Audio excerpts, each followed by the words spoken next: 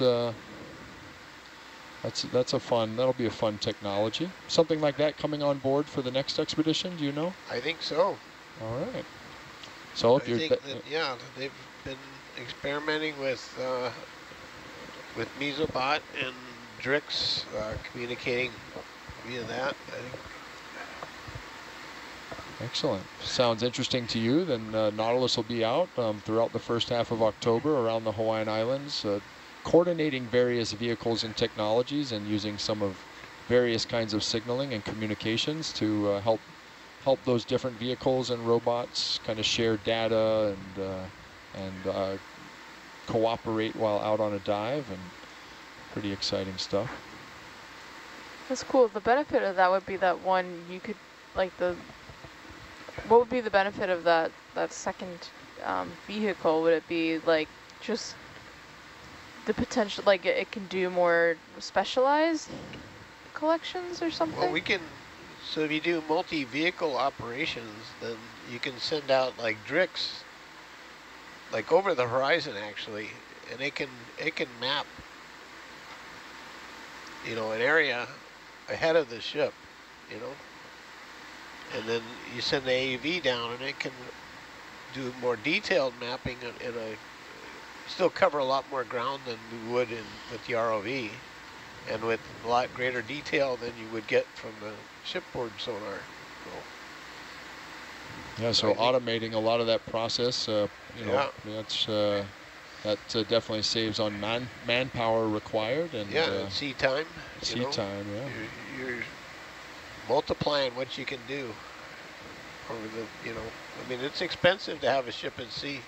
So if Absolutely. you can get more work done at the same time, then Yeah, big those benefits to that. s- scaling factors cer certainly interesting. Thinking about how every seamount that we approached uh, and every target, including the shipwrecks, right? We, I'd go down see Catalina or one of the other mappers. They're busy mapping while we're, you know, as preparation for the dive. But if that could have been done in advance, ahead of time, and we have that data on hand already, then we can get the get the vehicles down on it uh, right away. Pretty interesting. Yeah, can do. People mentioning can do 3D and wide swaths. You can can kind of get different types of imagery and different kinds of data. Um, not easy, I don't think, to coordinate those multi-vehicle operations. I've heard there's been some hiccups in, in the in the software and in the you know some of the components, but it's uh, it's a cool thing to be finally figuring out. Are there any chances for volunteers or for someone to just be a fly on the wall aboard the ship? That's basically me. Uh, yeah, just uh, apply to be a science communication fellow. No, just kidding, Megan. Um, if you're listening in. No, it's, uh, you know, we, we don't. do more uh, than that. yeah, a little bit, a little bit. Uh, you know, there's uh, everyone on board the ship is, is critical to operations. There's not really um, room or resources. Robert was just talking about how expensive it is to do this work. Um, But if, if somebody does want to volunteer their skills and wants to come out, and or if they're really excited to learn, the Nautilus is an amazing place to learn. So there's a lot of roles where we take interns, um, and they're not even volunteers. I believe our interns get uh, some kind of compensation as well for their time at sea. So it's it's a it's a pretty uh, pretty awesome place to come and learn. Um, but yeah, we don't have any flies on the wall. Everyone's got to be engaged. Applications open up next month. Hey, thanks, Val. Yep. Dr. Yeah, and not only that, but sometimes Nate. Nautilus will host um, artists aboard as well. So Awesome. it's kind of Yeah. fun program. What was that? Will you will you repeat that, Amber? Not everybody. Not Oh, everybody. got just that. occasionally uh, Nautilus will collaborate and host an artist aboard as well. artists. Oh, cool. Yeah. Yeah, that's awesome. Oh, well, great. that application. Maybe maybe if you uh, just want to want to email communications or or education at uh, at oet.org, and if you're interested, if or if it's not posted, or you can apply through that Science Communication Fellow uh, website, where I think or Or application. Yeah. It'd be great to have artists. We uh, should be acquiring the bottom relatively soon, almost to that depth, and uh, so we're gonna Yeah, we're picking up the bottom. we're going to start uh, right.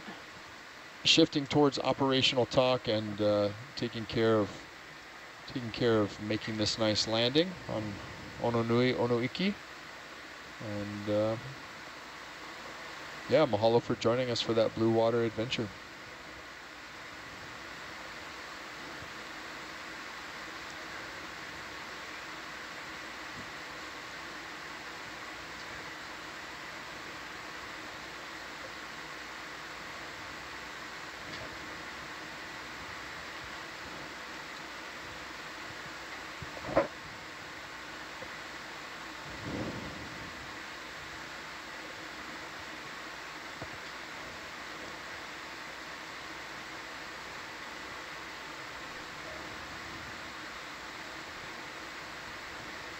Can Atalanta's sonar sweep a little faster? That's the one on the left, right? Aye.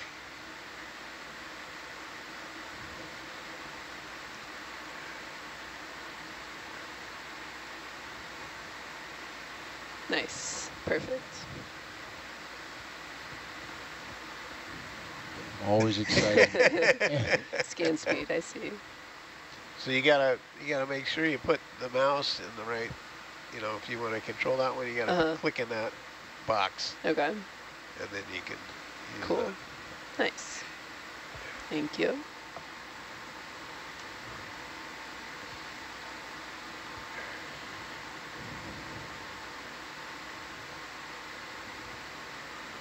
Are you okay if I go ahead and switch it to Yep.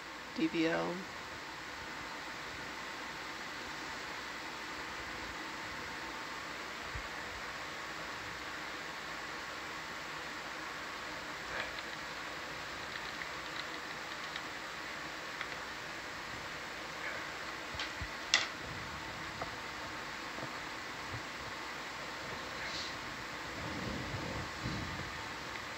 Oh, I think that was that wasn't a good fix though. Oh yeah.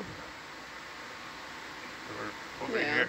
Just crossing 2,400 meters, nearing nearing the seafloor. Always an exciting Yeah. moment. Waiting to see it pop up in the screen. I think this should be good. Over there.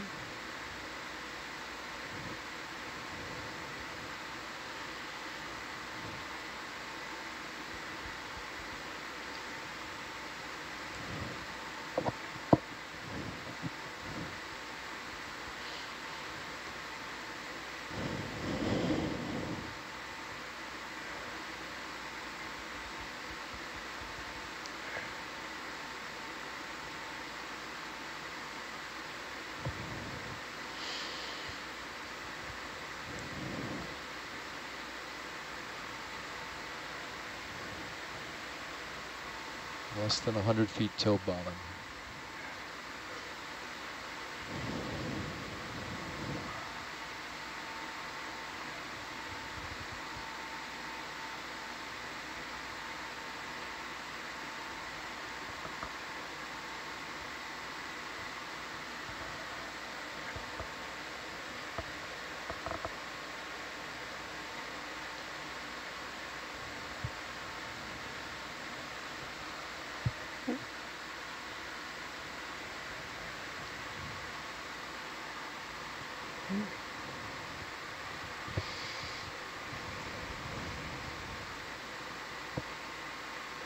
Oh, nice. Beautiful. Sheet flow? I know, I was just thinking, all right, Val. Yeah, my attention was elsewhere for a second, so I'm uh, Pop Yeah. quiz. What's Yeah. in front of us?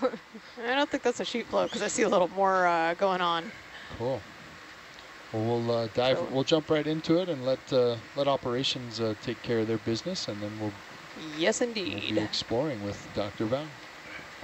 And everybody else. It's Well, not just me. Well, yeah, but this looks primarily geological. If it were just me, it would be extremely boring. Yeah, right. And I'd probably crash the ROVs. it would be quite difficult to run all the ROV setup and and oh do the science. no, no, yeah, no, that takes a village. that I takes a don't think it works to have a scientist driving the vehicle.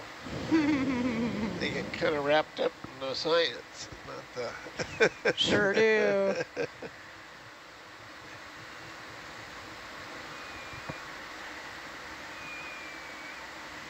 Oh, look, a rock.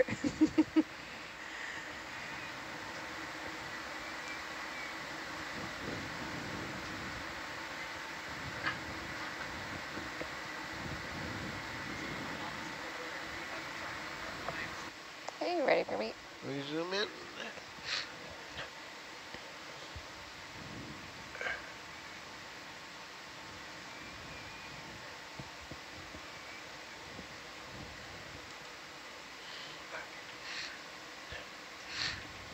All right, we're gonna go dark first.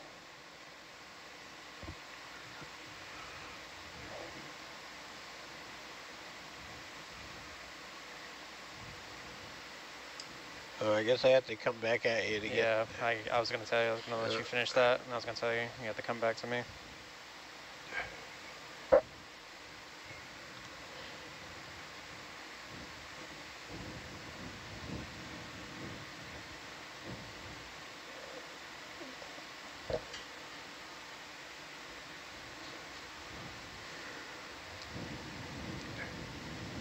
So we going uh, that That way way. is Yeah. 315-ish or something? Yeah. Uh, yeah. All good? All good, thank you.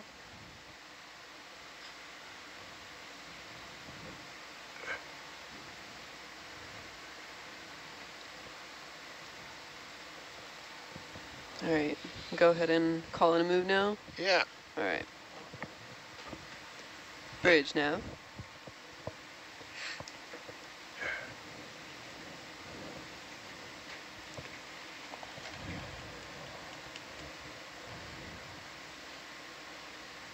Could we move uh, 90 meters All right. at I'll bearing at 320?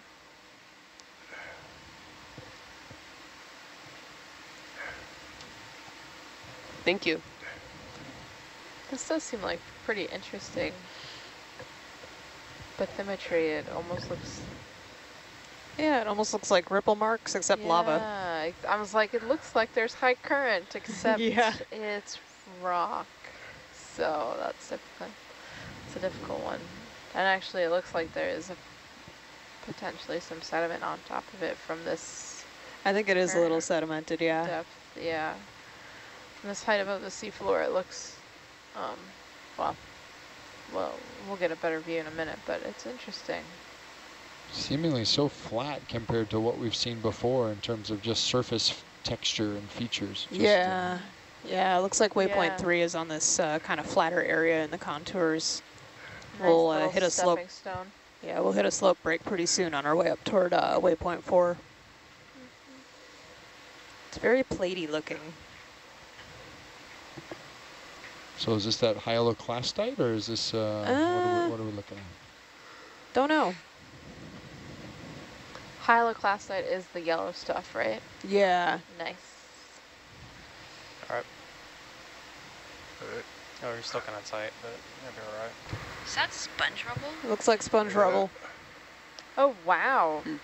For real? That's a lot of sponges. That is a lot of sponges. There's a huge number of sponges. I know Sebastian was talking about seeing a lot of sponge rubble like this. Um, I feel like he, he was, he and his watch were in the more flatter parts of some of the previous seamounts that we that we dove at. I could be wrong, but um, he did No, that mention makes seeing some of them. Yeah.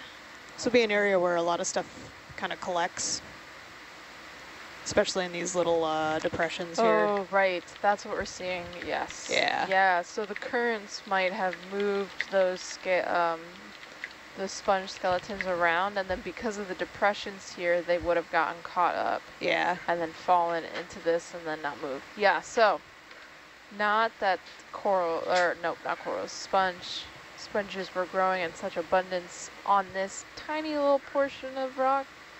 Um, they probably just traveled here. They just traveled. Yeah, yeah, probably correct. That makes a lot of sense. They got stuck in the depression. Interesting.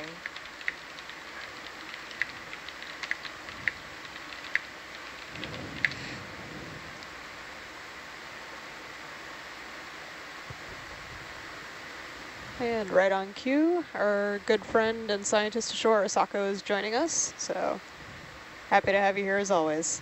Hi, Zako. How's it?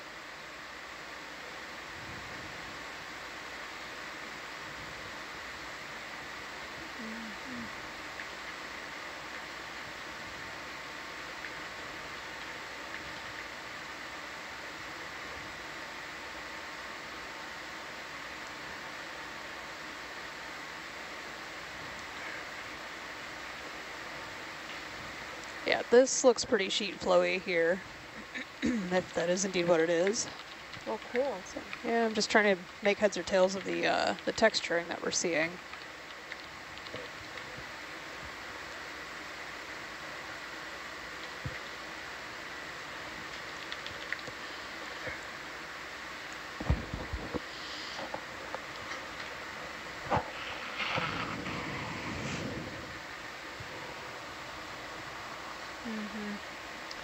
Does look like we've got some loose sediment on top of the hard rock substrate. Yeah, I think so. Looks like we might be kicking a little bit of that up too.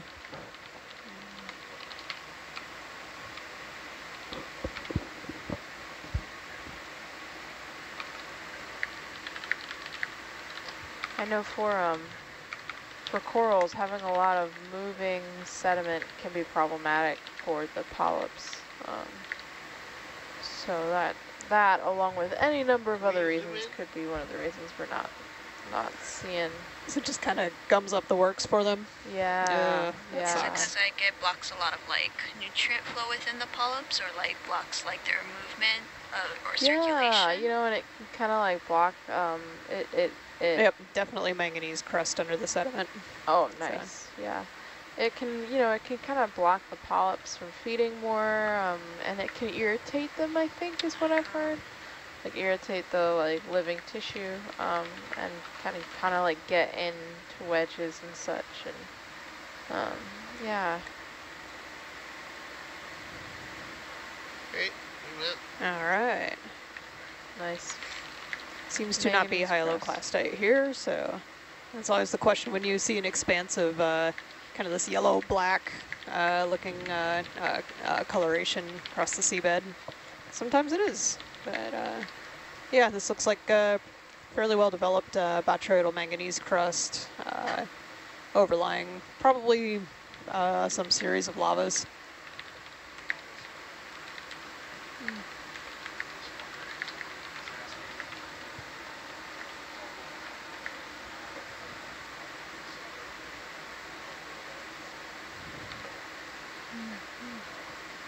Actually, this pitted surface texture reminds me a lot of the 65-pound lava flow chunk that we picked up in 2017 in, the, Ooh, in another part of the ocean. You gonna Very, go for very a s- 66 pound chunk this time? No, no, no, no, no, no. I don't want to haul that around on the ship. I, I don't think I could. I would definitely not be able to get through the uh, door to the lab without just just clocking Oh, myself on the gosh. door frame. Yeah, no, no one would. would they would take multiple people to It move would. it around. Yeah. I don't know if we have the ballast for that. Twelve thousand. Well, I mean, Yeah. Oh, really? yeah. Yeah. Yeah, it, it reminds me a lot of that second. sheet Oh, we not on the up. not on her. Big heave comes. Yeah, yeah. No, yeah, don't have the ballast on it. Uh. It's not that often that you really need 65 pounds of a single rock. Yeah, I would imagine. Yeah. No, we, we've been doing pretty well on this expedition, so. Oh, it's already on it. So the botryoidal texture, does that tell you anything about You can go down um, here and then this the sheet flow in which one it particular? Unfortunately, not really. Um, just means that it's had time to develop that. Does it does it speak to how the manganese crust So formed it's by any chance? I'm trying to remember Um, what it was. Was it? Yeah, it, it does reflect some of the growth patterns, but I don't really know uh, the nuances of that very well. Cool. But a lot of minerals have that No, botryoidal texture too, and usually stuff that focal, it's, is uh, like precipitating out of water. It's gonna be a python fish. Fish. this Stick? What is it? What is this? No, it's No, it's fish. definitely a fish. Start I think it's an Maybe. ophiodin, a potato head. Oh, we got Uh, a yeah, potato didn't head. look at- click Ah, there it. it goes. Oh, Goodbye. by potato head. That might be it. We have uh, several viewers, maybe more, uh, around the world who are trying to follow along with us. And uh, our amazing video engineer, Amber, just throwing up the some of the navigational tools that we're using. You can see our, our bathy map and where, where we are here. on the dive plan. If you're following along on Google Earth, another viewer asking if this volcano is above sea level at one point, and uh, it's still above sea level Just a tiny little bit of it. Yeah, it's the Oh, smallest of the northwestern Hawaiian Islands, um, just gar called Gardner Pinnacles, uh, at at the summit, near the summit. But uh, right massive be beneath the surface. Yeah. you can look it up on um, Google Earth. Yeah, that's Yeah, it. super That's it? cool. Val's- Yeah, Val's check trick. Google Earth. Val's Yeah. trick. You look it up on Google Yeah. Earth, and you Oh, you got it, scroll yeah, in, and then you keep scrolling in, and then um, there'll be this tiny little spot, and you'll zoom in a little bit more, and and and then you'll see, oh, this is a picture, and you zoom in a little bit more, and that's those are the pinnacles. Yep. And so it's it's unbelievable. I had no idea how how um, large this this amount, this feature really is. Yeah, I saw that jump Yep. up real quick, so. And it's entirely possible that uh, much more of the volcano was above sea level at one point in its history, but it's been uh, uh, that that would have been a while ago, you know, 10 plus million years ago. But it's it's subsided once it moved off of the uh, the Hawaiian hotspot and uh, it has uh, only just left that, that tiny little crest uh, sticking out of the water. 10 million years, just a couple years. Geologically speaking, that's not that long ago, Yeah. but um, During our last ice age, Dr. Val, or any of the subsequent I the ice ages that preceded our last one, would would ocean depth uh, have changed significantly this close to the equator? Would would uh, some of what's now submerged have possibly been above the surface? You know, uh, I would like to say provisionally yes. That has been an active research question that uh, some colleagues have been working on. Oh, cool. So Would let's see, let's see what the information Does the looks like. distance from equator change how? I know that there's isostatic and euros eustatic um, change in, in sea level. Um, I think there's some. Um, yeah, last glacial maximum occurred about 20,000 years ago during the last phase of the Pleistocene epoch. And at that time, global sea level was more than 400 feet lower than it is today. Okay. So Yeah. yeah, that was pretty Yes. profound. Yeah, I think there are some locations on Earth where where you can have localized changes in sea level, but um, when you're talking about like um, uh, glaciation at that extent, you'll you have that's a that's a global um, that creates global changes. All of Right, the planet's yeah. oceans are Yes. be You know, there are all sorts of questions about like, you know, where those glaciers may have been and like what the timing was when once they started uh, melting and formed a meltwater pulse, you know, how that sort of uh, works its way around the uh, the oceans too. yeah. And yeah, that that uh, that lowering of uh, uh, sea level during the last glacial maximum would have uh, promoted uh, coral growth at certain terraces too. And uh, right. yeah, so those those are uh, places uh, that are being studied by by some researchers. So what's now the large kind of shallow reef uh, surrounding the Gardner Pinnacles may have been actually above the surface, and and tr- shallow tropical reef might have been uh, flourishing in uh, waters that are now probably too deep for those corals to. Yeah, uh, seems to Yeah. be the case. Another really good example of this is uh, Penguin Bank, just off of Molokai. That's right. So about 120 meters down, you uh, get those shallow uh, coral skeletons. Is there a mesophotic reef there too? Uh, I don't know. That's a good question. Like, you mean an active reef right now? Yeah. Um, yeah, I don't know. Or just or mesophotic corals? Um, I know we sampled some, but they were Pleistocene. I, I, we didn't see any that were alive at that depth, but Okay. um, yeah, we can uh, see if anybody's looked into that. We do have viewers tuning in from around the world, and we appreciate you being here. Um, you might also have noticed that Nautilus is showing up in the news, uh, whether it's our uh, humbling dives on uh, those shipwrecks, the aircraft carrier wrecks from the Battle of Midway, or the recent Dumbo octopus, or several Dumbo octopus that we actually encountered on some of our seamount dives. Um, you know, we're, we're, we're getting out there in the media, so we hope you guys have been tuning in, enjoying learning about our project, about this uh, really amazing expedition, uh, and this awesome team. You can find out about not just the amazing people that I like to celebrate and, and call the greatest watch uh, the world has ever known from 8 to 12, uh, bringing you the deep sea live and fresh. Can we get a zoom? Zoom? But, oh yeah, uh, thank you. But also the other watches, all the crew members, all the corps, corps of exploration uh, engaged in Oh, this. this is interesting. Oh, Wait, this coral. is not what I initially thought it was. Yeah, it looks like a Yeah, that Maybe a metallic like a very or something. tall- It looks like that, but it's not. sneaky. It's very sneaky. Yeah. Yeah, it's got the pairs. So it looks like yes, there is a mesophotic reef of some sort on Penguin Bank. So called it. Oh, Very cool. Nice job. I don't know anything about it, but yes. Yeah. That's cool. And this coral, yeah, this is looking like a black coral to me. It's, uh, the branching pattern looks similar to some of the corals that we've seen earlier on this cruise, but um, I personally have not seen one this tall. Is this, um, is this full zoom? Yeah, it is. I only know Okay, excellent. Bathypathes. It's the only one I remember. Looks That's like pretty much what I know too. Barnacles on it too, the white Yeah. things. Do you want to go closer, Virginia? Robert's asking. Um, that would probably be nice, yes. Yeah, 'cause let's we've do got that. those barnacles, and then also this is this is that is exceptionally tall. Um,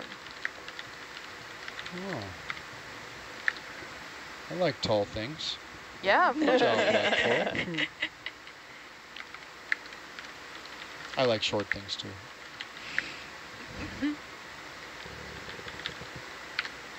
Medium-sized things. Also like All them. things. fun size. yeah.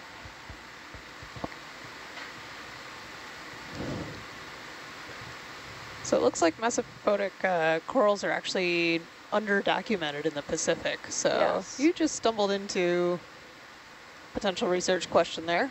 Oh, I've had a research question there for a minute. Okay. Yeah, okay. but I- I I I, I, stand mean I don't. I don't have um, any means to actually do said research. Gotcha. Lesai. Oh wow, what is you? And zoom? a shrimp. Oh, How cute. Awesome. That's fantastic. Yeah, that's really interesting. Maybe this is just a tall Bathypathes. Oh, or is it slightly alternate? No, I can't tell. Do we have anyone Um, in the they look- science chat tuning in or? Oh yeah, there's an alternate. absolutely tiny offset Yeah. on those branches, but um, I'm not, you know, I'm not certain that I've looked at a Bathypathes exactly to see just how um, Mm. alternate it is, but it does look like we have a, a tall alternate Alternatipathes in our ID guide. Um, but yeah, oh, that one has a long stem, fantastic.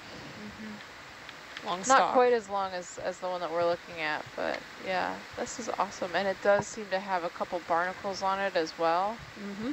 Um, it is really interesting. That's fantastic. Yeah, and I think it's also really interesting because we have not seen one like it yet, to my knowledge. So, awesome. Thank you so much for that um, amazing zoom. And Malo. Yeah.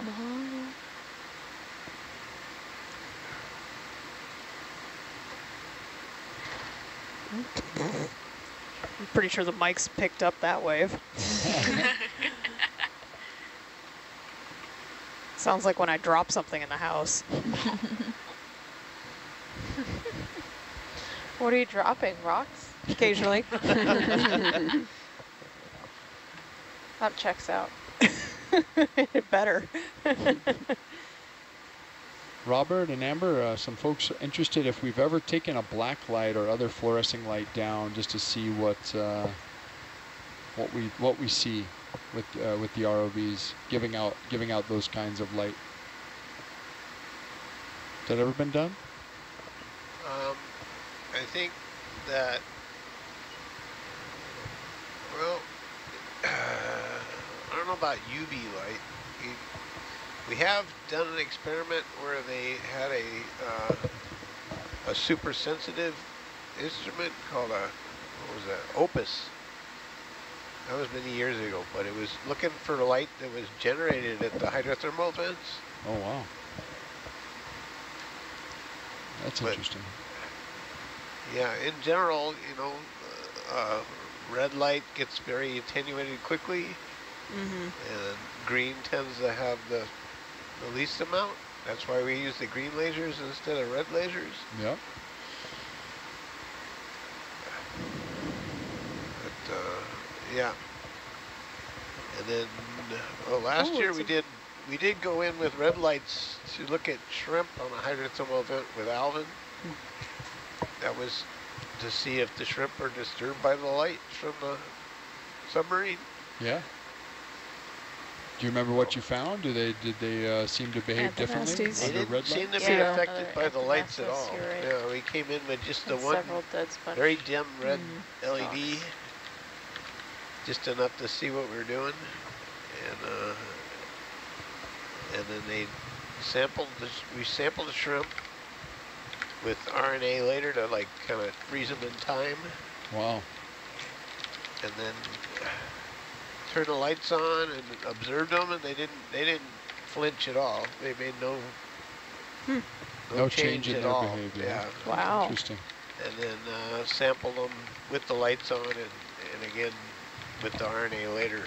But I didn't. I don't know the outcome of the experiment, but I know that there was some some uh, British scientists that had had written a paper saying that the shrimp were affected. So there's some debate there. Good. So I don't. I don't know the the deal with all that, but yeah. Oh, thank you. So, Fel, what would make this rock, like, is this weathering that we're seeing? I was afraid you're going to ask here? that, and I'm not totally sure what we're seeing right now. Ah, sorry. It's okay. Volcano stumped Val. I love it. Yeah, Good just job, some- There's like Some a bunch lava of holes morphology in it, that you I- know? it's like Swiss now. Yeah, that's, prob that's probably uh, gas escape routes, but uh, I, I can't quite tell what's going on with uh, why it's breaking where it is. You know this like um, So- this layered breaking like this that uh, with all the holes in it actually reminds me of Curacao. I don't know if you encountered these kinds of textures when you were there, Um, but the microkarst topography in one part of the island on that limestone part. kind of. I mean, it just looks similar. I don't know It if it does, has anything yeah. to do with the origin. Um, Uh, but, yeah. I think this is basalt, but that could just be places where um, like gas was escaping or there's some other sort of like local morphology that's affecting the uh, growth of the manganese crust somehow. Okay. Hard to say. I, I'm just as curious as you are. Because I, I don't see much uh, evidence of uh, like like rubble piled up nearby either. Yeah, doesn't seem like it's things are falling apart. It's Yeah. Just, uh, just got these Yeah, can we get a zoom on that? cuts. Or Yeah, actually, if I um, can catch oh. maybe. This is them. It is a squat. It is gone. Bye, squat. Bye bye. Squat lobster gonna squat. You can kind of see it in the Atlanta camera. Oh, Kinda yeah. and there's something black right there floating. Oh, oh. Ah, that black coral we saw is getting sent over to someone for uh, an ID. So Good. yeah. Ah, okay. Um, says it's still bathypathes. Oh, nice. We zoom in. Thanks, Asako. It's just tall. And Tina. This is like the kind of galaxy you see around the vents, though. Yeah, it does look a lot like those, doesn't it? But is it fuzzy? no. it is a bigger squat lobster, though. Yeah, it's a, Yeah, edible.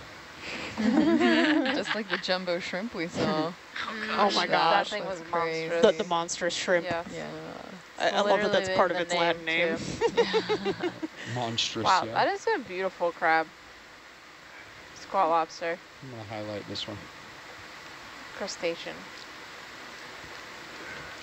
That's awesome. Has a little space, Yes, and I can attest it is not fuzzy, so and it fits. It fits that space, and it's calling it home. Looks pretty cozy. yeah. these are often the first animals you see when you're approaching the vents. You can kind of zero in on the vents by looking at how many of these there are. Oh, I would True, imagine. yeah. And we've got Very some kind of trace there. Yeah. Yeah, I'm not sure if that's just a part of the rock that has increased sediment or if that is an actual. It looks kind of animal-like to me. The only thing is that there's more sediment Can we zoom in again? in the middle. Well, could be poo. Could be a crack. Don't All know. the above. Oh, Perhaps. That does look animal made.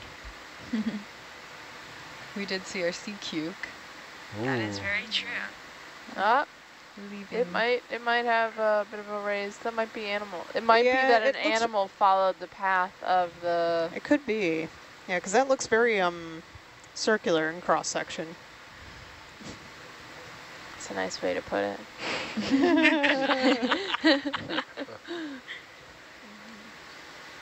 Nice little thread. Yes. Sour straw. Mm. Candy snacks I should have bought before I got on the ship. yeah. So it sounds like my mom is going to be trying some of those armadillo eggs tomorrow, and I have a feeling that I may be uh, trying them when I get back to her house. Yes, uh, so, yeah, that was a good suggestion. Some viewers want to know if the crab's white from lack of light, like it just hasn't been getting any sun recently. I mean, to be fair, it has not been getting any sun, and I don't think we have a better reason um, for why it's white. Um, but actually, um, you know, it's uh, it's not uncommon for, for crabs to be pale like that. Um, and I think it's a larger trait of that um, that group. So, um, but yeah, no, I I mean the coloration of these organisms is something that I think a lot of researchers are still kind of guessing at. Um, there are some groups of researchers who are looking into the specific coloration and um, as well as like evolutionary changes and um, how that all has is correlated and how that's moved on, you know, between different organisms, et cetera, et cetera. But it is not something that I am familiar with. I mean, having and maintaining color in most instances for any animal anywhere seems like it's going to have some energetic cost. Yeah, like you're going to have to. Oh yeah, there's another poo. Yeah. Sorry. There's more poo. Um, it could have costs. Uh, I think it, it kind of depends on, yeah. If it doesn't need the Yeah, all color, then it probably won't. And according to my hypothesis, it probably wouldn't have evolved to have it unless it's serving some function. Yeah. But it makes it I tricky. would to say. I think there there could be any number of reasons to have color in the deep sea, Mhm. um, and there could be a reason to be white. I'm just not familiar with it. Yeah. That's fair. Me either. I gotta hurry up. Yep. But it's not because Zip it it. forgot to go tanning. Yeah. No. It probably. it likes it down yeah. here. Oh, hello. Yeah. coral skeleton. All good. Yeah, so we're we're on the slope break now, and uh, that's why we're seeing a little bit of rubble there, but it all looks pretty uh, pretty stuck. Yeah, we are heading up a fairly steep slope. Heading up to waypoint four. Oh This wow. looks like more of uh, those rubble. beautiful rubble. Yeah. Oh, and more rubble, more rocks. Are you noticing? Are noticing? you thinking rock sometime? Sometime, yeah, but I don't think we'll be able to sample here looking Yeah. at uh, Looks crusty. everything. Yeah, it's kind of crusty. I was going to ask if this looks to be kind of similar amounts, uh, type of manganese incrustation that we've seen on the other seamounts, or because this volcano may be younger than many of the ones we've been looking at, uh, I think, I mean, it, based on where we are. it does look pretty crusty. I'd, Still so pretty not quite what I was expecting, but then again, I don't know about the growth episode. Ooh, Pe- uh, stars. Six growth yeah, episodes that of the looks stuff. like one of those. One sea unit. stars. Uh, Slime star? Looks like it, yeah. A juicy unit. my name's Dan. My name's Dan. Oh no. Uh,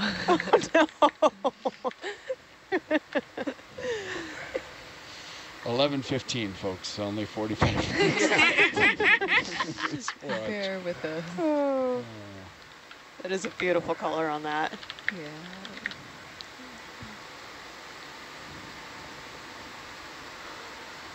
Yeah, I, I kind of come in with no thanks that. expectations about Beautiful. some of the field sites we look at as far as like, you know, manganese crustal growth or whatever, because the more the more That's rocks, Awesome. Thanks for that zoom. We can. uh, the more rocks that I've looked at after cutting them open over the years since, you know, that first expedition, uh, Uh, the more it's apparent that there are like distinctive growth bands that you can see in the thicker manganese crusts, which tells me it's not a constant process, and uh, I, I don't quite know how to translate that yet. And I have a couple ideas on like how that could be done, but I also know we have uh, manganese crust group at USGS doing their thing, and I don't want to step on their toes.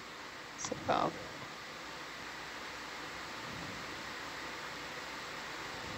yeah. Well, loving this uh, rubble field, very different than the flatter, kind of layered lava field we were looking at down below. Different in texture at least. Yeah, very different.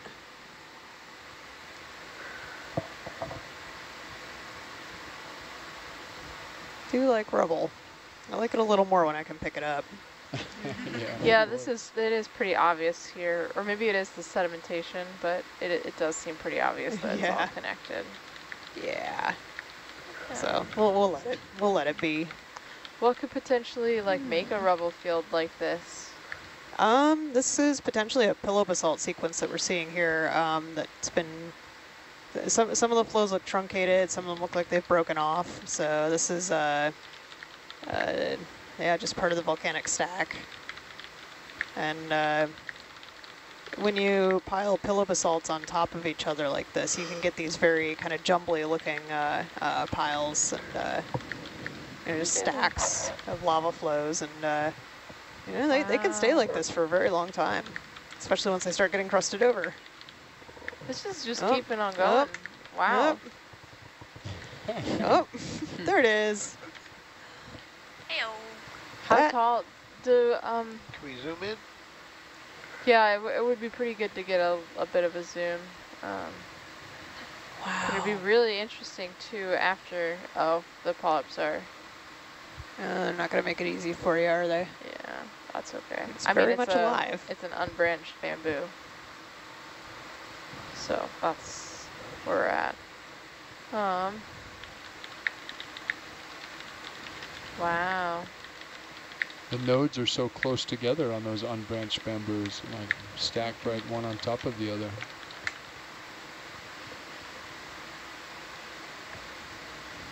Wow, those polyps are. That's kind of interesting.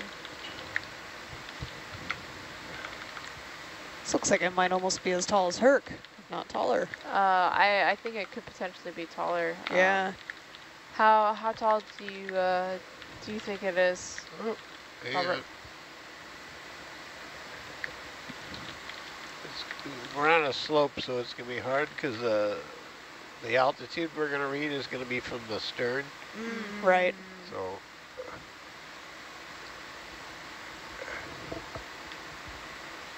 Oh well. It is pretty cool. I'm guessing in the range of like three meters, maybe. Okay. Oh wow. Yeah, that's taller than Herc. Excellent. It's taller than you, Dan. I mean, it's not straight up and down either. See, it's Barely. got Right, a bow yeah. So Right. yeah. Well, awesome. Thank you. And uh, and uh, yeah. Well, that'll be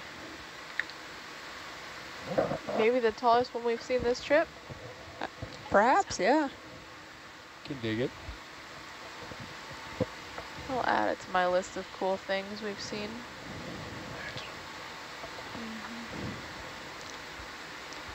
Dr. Val, is this manganese incrustation only noticeable on hard substrate? Or is this something that's happening in the sort of uh, pelagic sedimentation zone, but it's just getting buried within the sediment and kind of mixed in as it as it deposits on the abyssal plain or on the seafloor? Um, so I don't know as much about uh, abyssal plain geology. Um, just uh, partly lack of really looking at much of it, and partly just not having had a, a reason to look it up until now. Um, but yeah, th seeing manganese crusts uh, like this is is pretty common, uh, particularly once you get into older seamounts. I've actually seen some very um, early manganese crust uh, formation. Yeah, right there. Oh, nice. Um, yeah, some really early formation, uh, uh, manganese crust forming on uh, uh, some very recently erupted rocks, um, which caught me by surprise. So yeah, it's kind of, if it gets a chance to deposit on something, seems like it will. Manganese. On abyssal plains. Let's see if that gives us anything. Ah, there we go. Um, yeah, you can get manganese nodules uh, on abyssal plains, so they're they're kind of nucleating on something cool. or uh, uh, down at those depths, but they, they don't necessarily uh, distribute, that manganese doesn't distribute itself among the sediments. So, so you said, because, yeah, with our uh, shipwreck dives, we we did see uh, what that um, what that Is abyssal cool, sediment Zim? looked like, and it is uh, lighter in color. Yeah. So, yeah. Yeah, yeah. Thank you. Oh, you can see his arms. Its feeding arms. Oh, yeah, right in here. Oh, its mouth. Doesn't it have the arms coming out through its mouth too?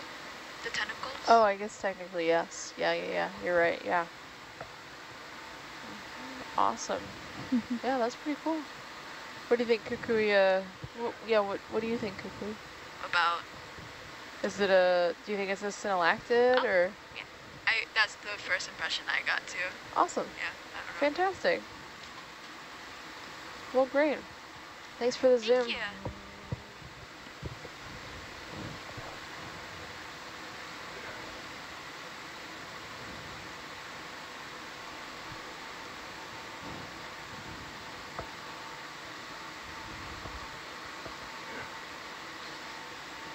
Do we have an estimate, Dr. Val, of how long this volcano, where we are at in the chain now, has been extinct? Is it, uh, are we getting closer to like the 10 to 15 million range? Are we getting down into the 5 to 10 million years ago range? I know we're, we're still 500 miles away from Oahu, so, you know, Um, what's what's known of its eruptive history is uh, places its age about or its age of activity about 12.5 to 14.1 million years ago. oh, perfect. Um, that's that's not necessarily the total bounds, but that's the uh, the age range that uh, we are aware of uh, from material we've been able to study. Great. So you. it's possible it could be a little bit older if uh, you could uh, get into, uh, uh, you know, deep into the bowels of the volcano and look at the um, uh, the pre-shield phase, but that's going to be Yeah. basically inaccessible. And Yep. we, we do not condone uh, drilling within uh, uh, Papahanaumokuakea, so Oh, yeah.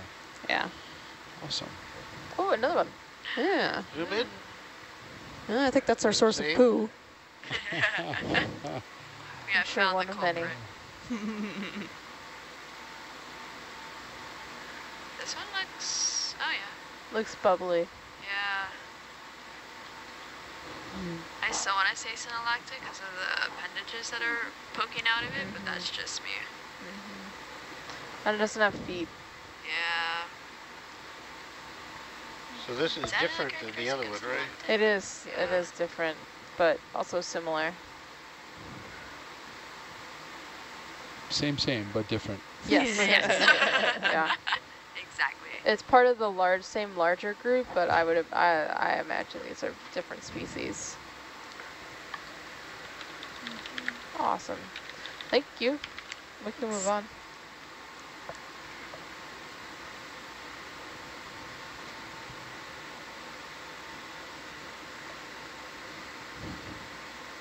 It's a very cool little path we're traveling. Mm-hmm. We're deep sea traveling. I like it. Already making good progress up to waypoint four. oh, yeah. You wanna? Uh, is that a skeleton? Can we zoom in?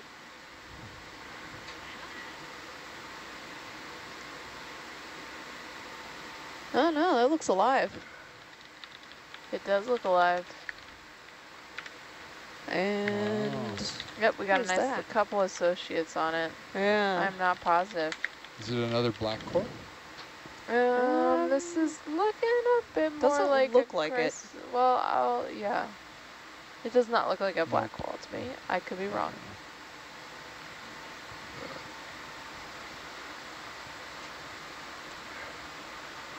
All right, we can't hang out here. We Okay. gotta get going. no worries. Thanks, though. Coming up.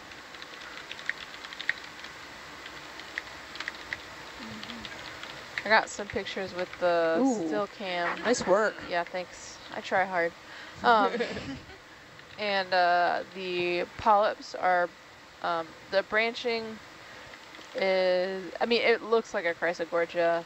Um, the polyps um, remind me of a Chrysogorgia, and then also the branches are um, straight off of the secondary branches, and um, the polyps seem to only be on one side, and it's pretty planar. Um, so, very excited, very cool. What's that bulbous thing that was on it? Was that another anemone? I think so. Little. Might have been. Might have It's been. hard to tell because it was all retracted.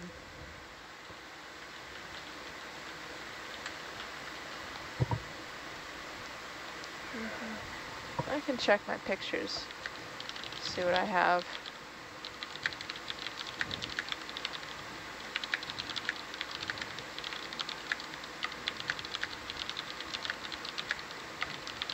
Yeah, there was uh, at least, there were, I think, two anemones and a barnacle on that um, Chrysogorgiid. Just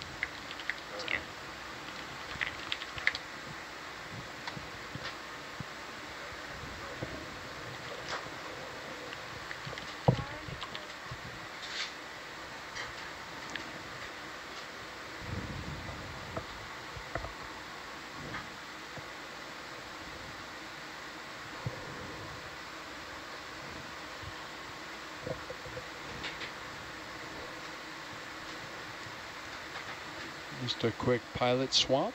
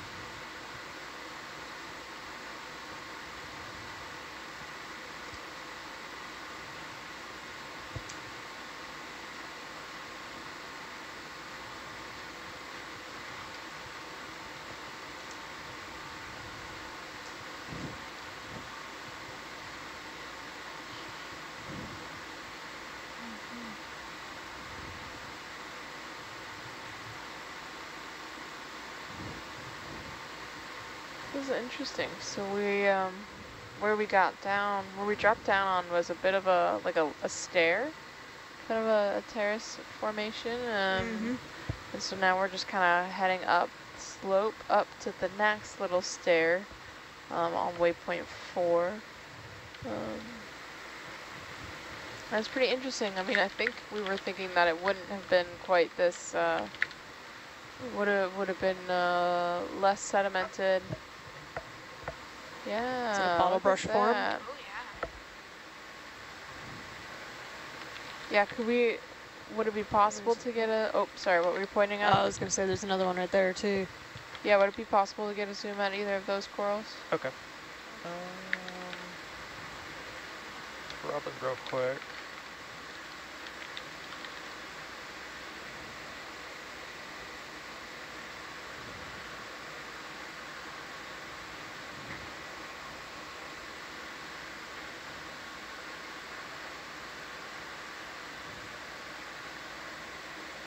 Come on. I wonder if we're going to start seeing more of this uh, once we get up toward the uh, the next terrace. We're starting to see where uh, uh, some of these uh, corals are uh, uh, Am I getting yanked on? Is that what that is? calling this uh, slightly jutting out substrate home. Yeah. Yeah, I'm not sure. Amber, can I get zoom? Um, Zoom in it. Well, that previous sure what we'll dive uh, found a lot in this area, but we're starting deeper than what Yeah. their dive did. yeah, they were saying that they started at um, much shallower than this. So Yeah. You got a real quick view before I get Awesome. yanked on? Yeah, we can't thanks. hang around. Yeah. That's all good. That's okay. Thank you. Um, Okay. You're good. Thanks, though. Uh -huh. All right, I'm coming. Yeah. Can we do a flyby zoom um, of this coral? Um, Or is this a different direction than you're traveling? different direction. Okay, kinda. that's Okay. fine. Thanks, though. Uh-huh. A little eel coming up to us on the side. Oh I see him right there. I've been about about these.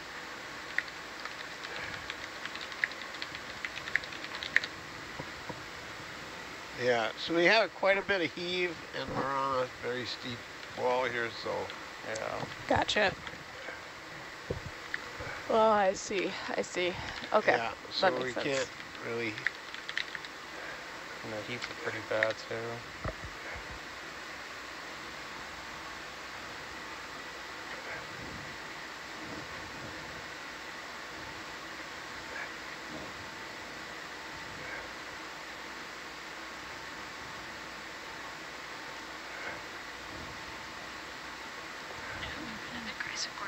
Yeah, it does look like we've got another Chrysogorgia there. Uh, yeah, yeah, yeah. Kind of up this way, so yeah. yeah. Did I just see it? Saw Sorry? A bunch of stuff. I don't know the what I just saw. There's a bunch of stuff right there. I don't know what the. Yeah. I saw that too. It's like a tumbling snail or something. Oh. Oh, I missed it. Is it right in front of us or? Yeah. There's something it right was, there. See but- the I white? think you're gonna have to let it go. Yeah. Yeah. No, I'm not asking for any zooms or anything. It's just like, what did I just see there? Yeah. Maybe we'll catch some up here.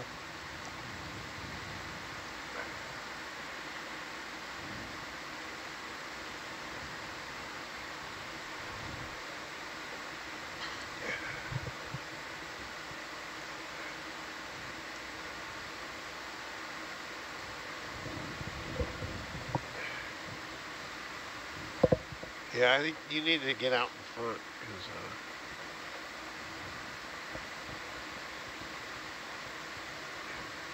I need to get out from underneath you. you need to get out in front. You need to be out in front instead of Okay. you're trailing behind. Yep. I'm coming. I'm coming. And hold that a little bit more.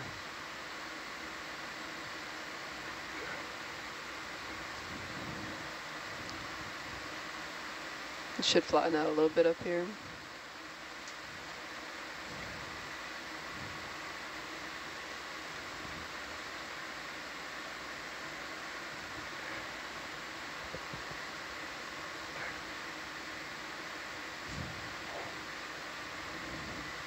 Catalina, I know you're coming back out in uh, just a couple months' time to do a mapping cruise.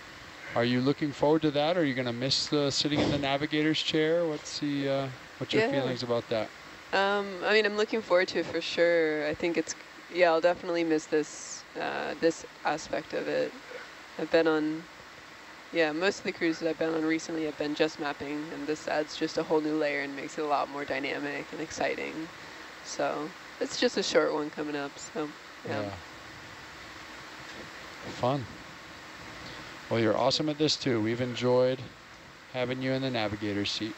thank you, James. Yes, most definitely.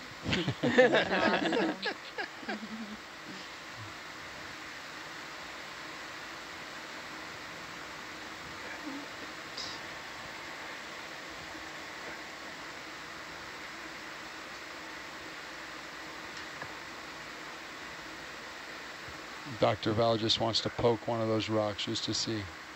No? I know they're all stuck. Don't need to poke them to see that. Mm-hmm.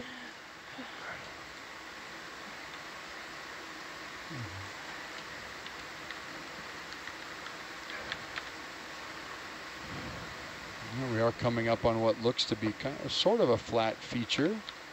Not very, not very wide, but Yeah, we should be turning the corner on that pretty soon.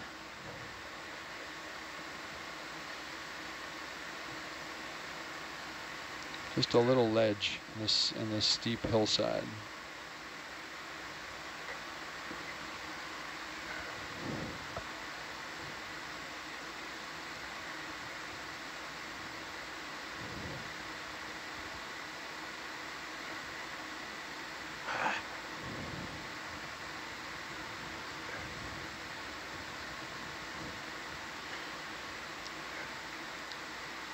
This thing is so annoying. About how it just runs away. Ah, I hate it.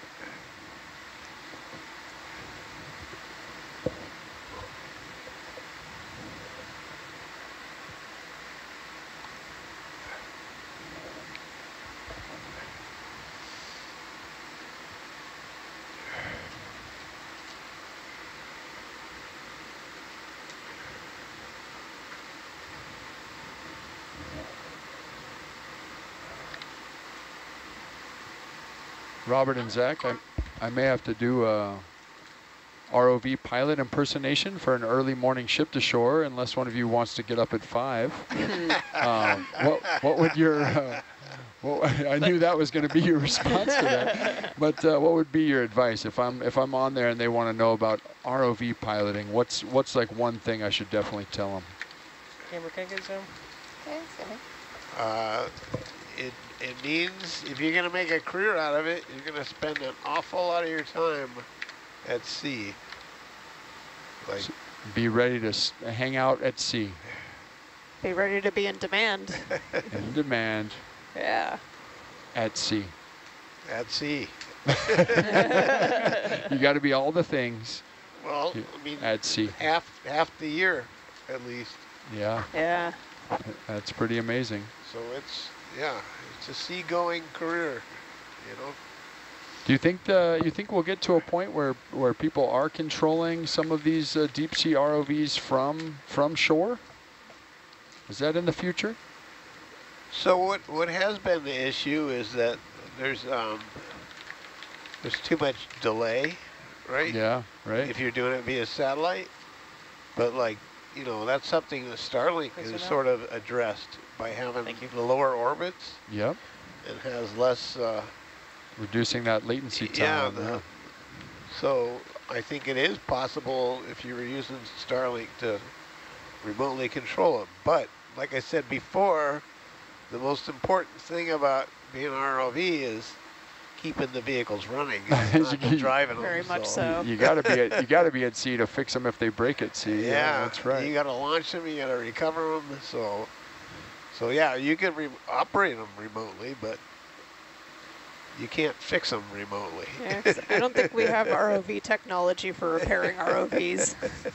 no ROV re repair robots yet. right, yeah. I've heard some of the commercial companies wanting to do that too, and what their plan is that they are going to have like a dedicated pilot, and that's their just their deal. They go out wherever their patrol van's at, whether it be at the office or whatever, and then they'll just have engineers on the boat Okay. repairing and doing whatever, and uh, launching and recovering. What else could I tell the kids that'll make me look really smart as an ROV, as a pretend ROV pilot? What could I, what could I say? What's like a code word that only ROV pilots know and use? Code word. Ground fault. Or ground fault. ground fault. Yeah. We got a DC Yeah. ground fault. The delta. Yeah, oh no. Yeah. Ground faults are definitely the the the most frequent problem. Do you want to talk about what was going on with Herc early in the dive when we were? Sorry, I'm having an episode, so I don't. Sorry, Robert. One thing I remember Robert talking about when uh, becoming a pilot is specializing. So some people specialize in software, some will specialize in electronics like he has. Um, some are like hydraulics or mechanics, and so there's if you could specialize in addition to having kind of that well-rounded um, Yeah. understanding of how, how it all works together. Oh, I like that. That's great insight. I love our little video we can show on Ship to Shore where Herc just comes apart into all of its pieces and you can see all the different components of the system that make up the ROV and uh, it's always a Yeah. it's always a fun video to show. Yeah, that's definitely the video that I've showed every ship to shore that I've participated in Yeah. and hosted and kids, I mean students no matter what age, even some of the adults, the instructors, the educators, they're just mind blown by Yeah. seeing that video. So it definitely illustrates all of the moving pieces that one of these RV require. Yeah, goes well with that sort of specialization Mhm. concept as well. All right, I think I'm ready. Ready to put on a show. Do I need a cool hat or something? ROV pilot's hat? Some little pin? Here's my aviators. Oh, where are my aviators? There you go. I'll put my aviators cool. on, okay. Get some wings. or at least uh, uh, Dumbo octopus fins. Yes. What is the school group tomorrow? Oh, it's school from Florida. Oh, Uh, St. John's Country Day. I think uh, looking forward if you're if you're up early in the morning already, getting ready for school, and maybe tuning in. What time? It would be uh, 5.30 in the morning. I'm sorry if you're awake. Your school needs to have later start time. but uh, if you're already Yes. awake, maybe going in for practice or something like that, said, oh yeah, we're having a conversation with the Nautilus today. I might be talking to you in the morning pretending to be an ROV pilot. So uh,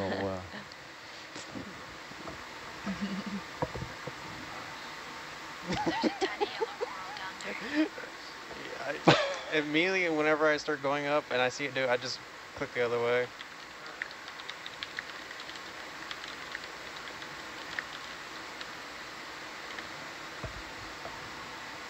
Some of our fans noticed Little Herc out on deck. We're wondering why. Initially, we were uh, we were hoping to have. We don't want to make Robert more upset than he already is right now. But um, Robert uh, just trying to breathe. We uh, we love Robert. He's got some sinus sinus action going on. So send Robert your aloha. Help him heal up. But uh, yeah, really. Uh, we're really excited about taking little Hercules down incredibly deep to see the shipwrecks from the Battle of Midway, World War II. And oh, yeah. we did we did do some boy. incredible dives there, but Crinoid? um, The Ah, had to do them with Atalanta only. yes. It is a crinoid. I only look at saw one of the branches originally. Very it? Do cool. you want to take a look at it? Um, no, this is okay. Yeah, we, we can keep going. I know, I know the, the, the steepness, etc. We've reached our crinoid quota for tonight. no, I'm kidding. I'm kidding. What is this? It looks like a It- hold fast. Yeah, it looks there. like Is that a whole it looks like a hold fast. Yeah. This is a coral. Is it still a coral? Or is it a skeleton? Oh, it's part of a coral. Barely. Oh, I think it's um, mostly dead or eaten bamboo. Where's the sea star that did this? Patrick. wasn't me. Patrick!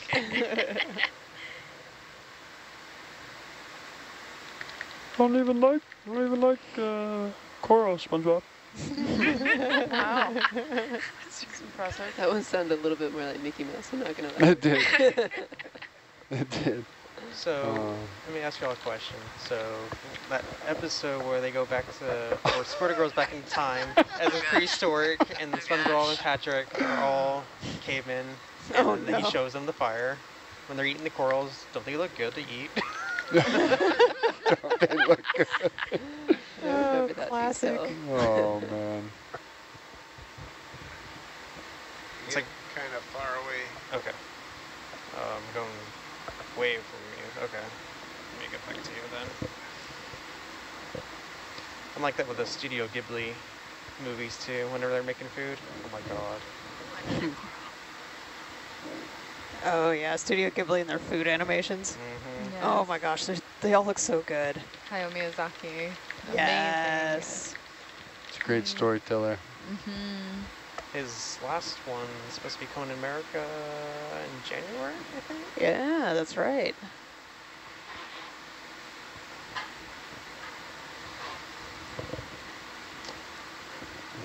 Just this last hour, we've gained uh, just over, or just around 100 meters. in uh, elevation, moving from waypoint 3 to waypoint 4. And we're coming up on just the last 15 minutes of our second to last watch. Yep. Second to last greatest watch of all time. The world's going to miss you all. We'll be back, though. We'll be back. Yes, uh, I do like that idea of a cookbook. Yeah. Oh, we have so many projects we got to work on. Uh, too many. and we've uh, and we got to put in. I, I saw uh, Daniel Wagner, co-expedition lead, put out the call for uh, science input Yeah. uh, for next, next year's, year's. expedition. So uh, you know, we got to scheme up something. What do we want to do? a podcast and a recipe book.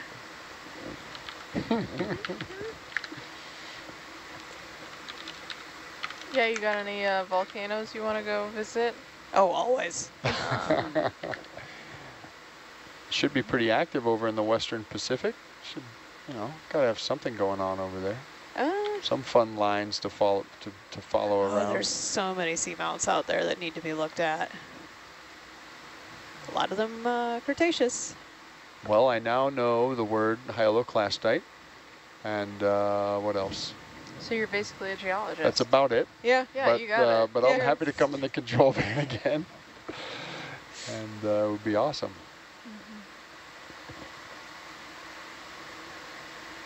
That was my favorite because Virginia was very confused by how two out of the three forms of fundamental rock types that she understood to be distinct were somehow mixing.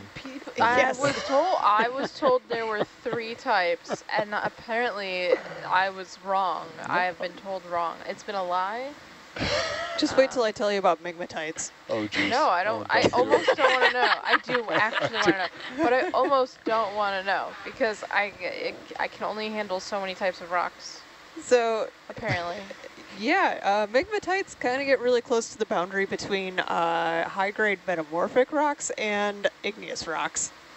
Oh, oh, tell us I'm not more. sure I understand. What is it called? I- Tell us more. Uh, migmatite. Migmatite. How are metamorphic rocks formed again? Uh, those are rocks that have been transformed from one rock type into another uh, due to application of heat and or Heat and pressure. pressure, yeah, that's right. and or things like seawater alteration. So technically, uh, all of the basalts and stuff that I've been handling uh, in the lab downstairs, uh, those have all been altered by seawater. So technically, they're metamorphic too. Oh. We just don't tend to think of it that way. Mm. But they have been altered by time and other processes. Igneous, metamorphic, sedimentary. It's all a spectrum. Uh, 320.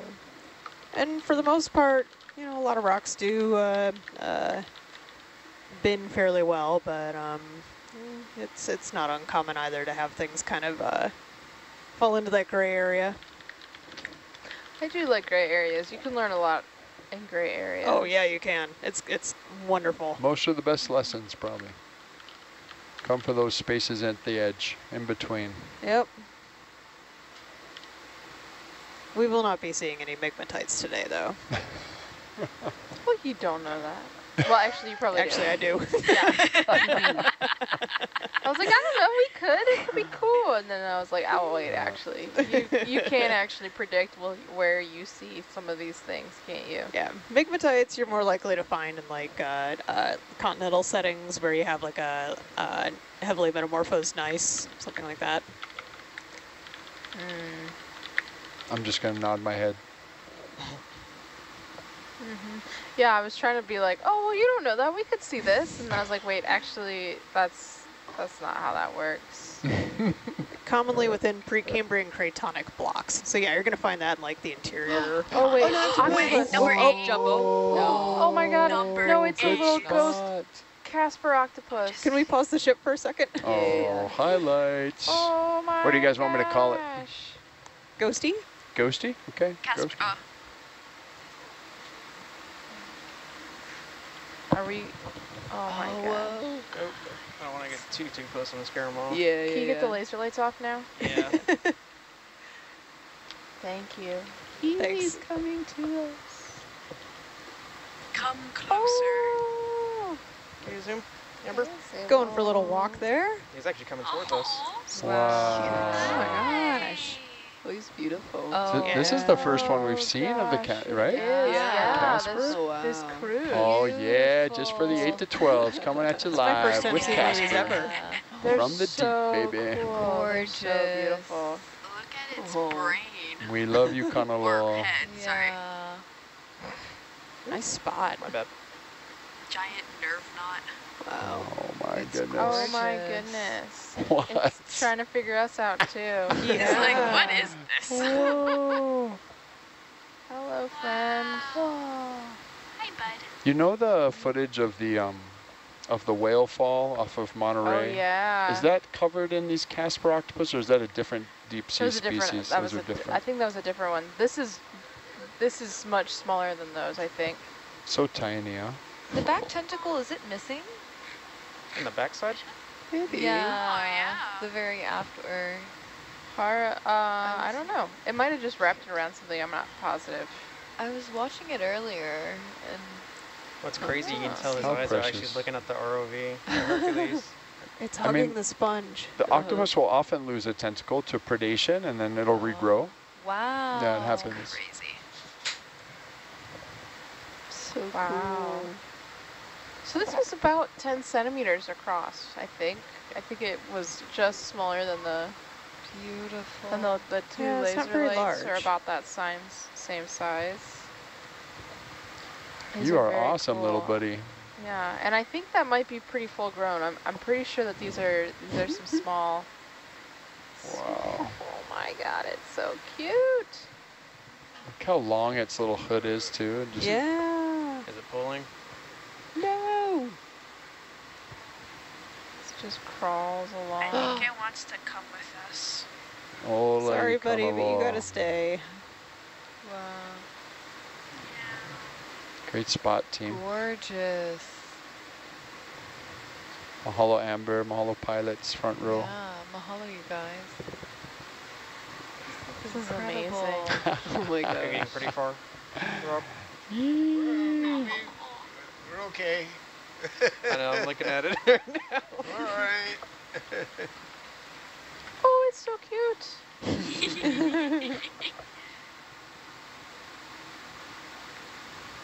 Looks like he's waving at us. Dan's gonna come in and freak out, but Wow. How far you are? what are you doing? That's pretty much what he's gonna say. Be like octopus. Priorities. Exactly. I mean, if we could come back a little bit, that would help. Okay. If I move, he's probably gonna No, take I it. mean, I, mean, I can I can pull the the boat. Yeah, I can pull back. I don't know. I don't know how long you're gonna look at it. I mean, we've we've gotten a really Yeah. great look. This Yeah. has been pretty awesome. I- Okay. he- So, Right this then. octopus might want to be. Uh, Yeah, he's coming closer. I don't want him getting too too to close. Yeah. So, can you zoom out, Amber? buddy. Yep, coming wide. that was awesome, y'all. What a gift. Totally. Yeah, that truly was. Oh, look. He's so tiny. So tiny. Oh, exactly, it's so small. yeah, it's better if we get set up so that we're turning over to watch it. Uh, Yeah. Proper setup here. Good call. Good call, Robert. Ooh, look at it. Bye, friend. That is so cute. Oh my gosh. Your whole butt to you. BRB just dying from adorableness back here. Look, monstrous Yeah. shrimp. It doesn't look quite shrimp. as monstrous, but it is big. It's still pretty big. Yeah. It's as big as that octopus. Yeah. oh, Oh, Race. Put the pedal to the metal. It says Yeah. beats beats, skirt skirt. What did you say? skirt skirt? don't say skirt skirt. You know, like from Fast and Furious or From those what? other race car movies? You got it, Kukui. What is this? Ooh. Is that monolith. Val? It is a log of rock. A log of rock. It is a long rock. It's a long Wow. rock. Pro- probably a pillow fragment or something. Oh, we got another cucumber on it too, or next to it. A whole bunch of sponge debris. Or just a slab of something that broke off of something. Very cool. Hmm.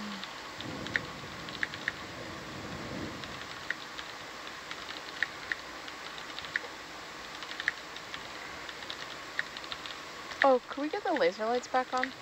Yes. I got it. Thank, you. Thanks. Nice.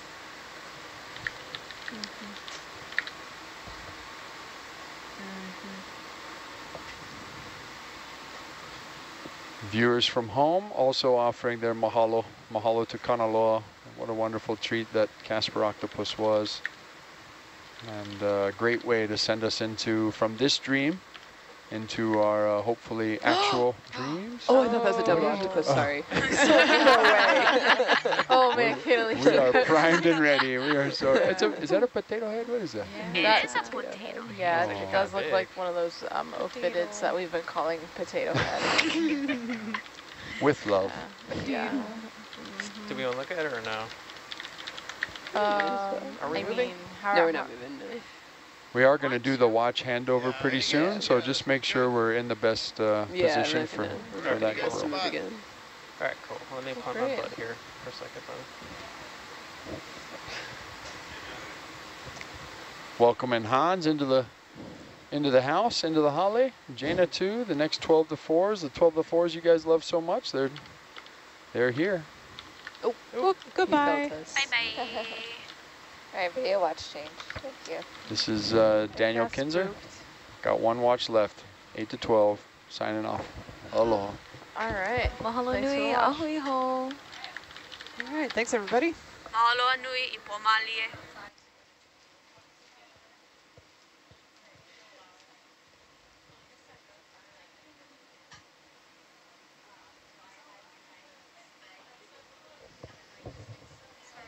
Yeah, you're fine.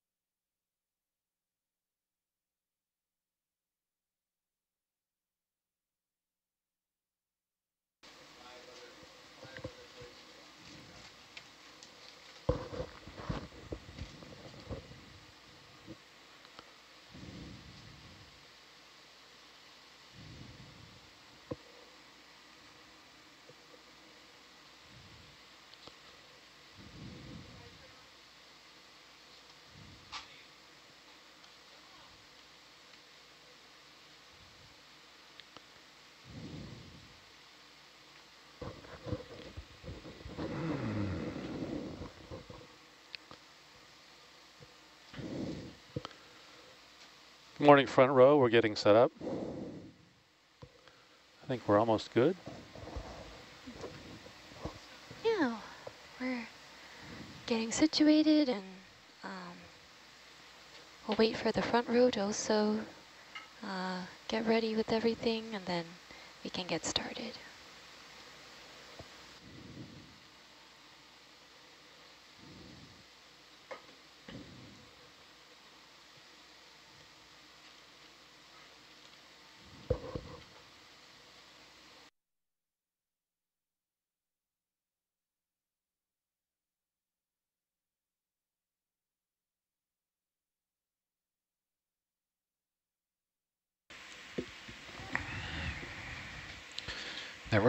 Mind, above your pay grade.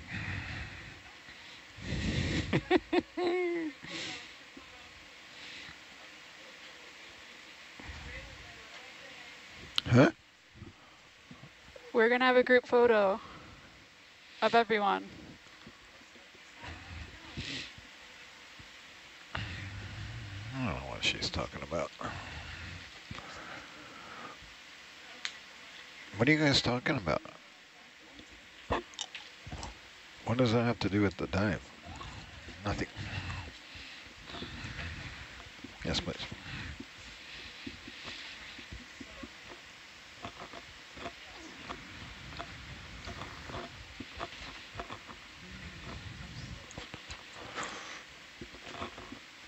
Oh, how do they function?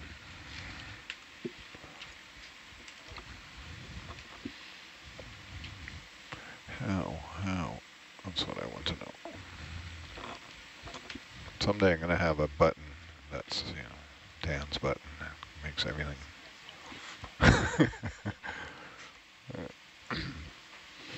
I do have I do have a secret button, but somebody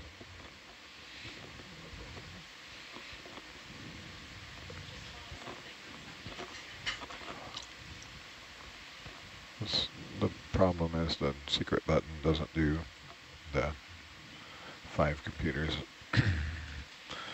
that are within my immediate reach. All right, front row. We're all set in the back row here.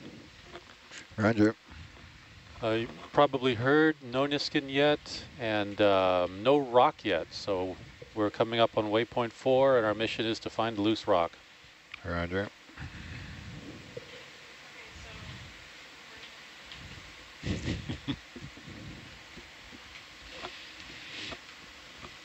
We're going to be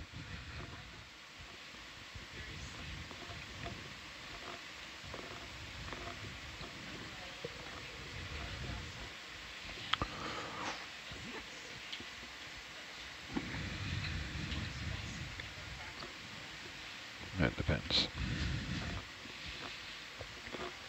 But, uh, yeah, we'll see.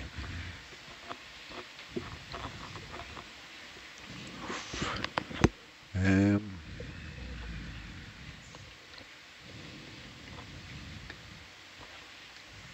neither one of those.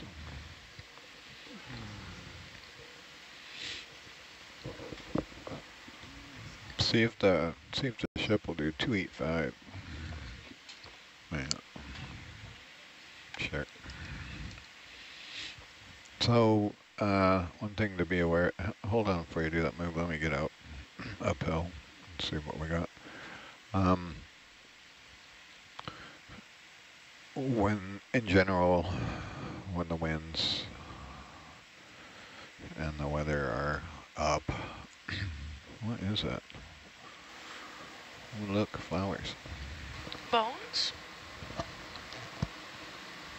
Sponge? Bones? Spongy bones. Do you know what it is? No, it looks weird. Can zoom in on that pile of whatever it is. Oh, come on here. Yeah, they look They- like bones. Yeah, they might. I think so. Or maybe Or a bunch of pilot stun sponge yeah, stalks, I sponge think. stalks like together because the tissue here looks like spongy. This one looks spongy. I wonder how they all ended up in a pile there. Yeah. Yeah. Maybe the current, I don't know. Yeah, you said it's pretty strong, right? Spongy. Yeah.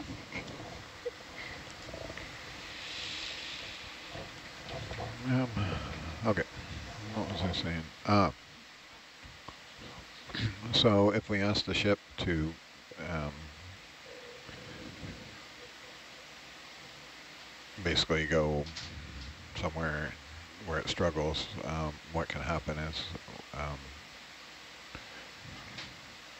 the DP system struggles, struggles, and then says, I give up, I give up, and then the ship shift, uh, ship, that's not exactly what it says, but anyways, the ship will uh, drift. So um, tonight it's probably a good idea that if we all are watching uh, this, so Jacob can bring up the Rob nav over there. And also you can tell on your, so the other one I watch all the time is the ship speed. And then course over ground should be aware of both of those. So all those numbers are in front of all three of us here. And uh, yeah, it's it's nice if we notice it early on, then it doesn't really affect the dive. We just kind of get out in front of it and uh, go with it depending on, so if they do uh, have to reset the DP, they'll probably drift uh, at, usually aft, but not always, it depends. So it's just something to be aware of, and you know, if we know what the terrain is in front of us, we can, we don't have to uh, run away from the bottom. We can. Some of the coolest things I've seen on this system is when uh, Nautilus has been on holiday, DP holiday. That's true exploration there. Gumbo. yeah. so for that reason, I like to see the track track line of it. Yeah, you, you can zoom out a little more or something. And chitin. Yeah, make it smaller. Ooh. Yeah. The weather's trending down, so I imagine you know it's not. It's below 20 now, so. I don't know what the current is saying there. Is it still ripping off the side?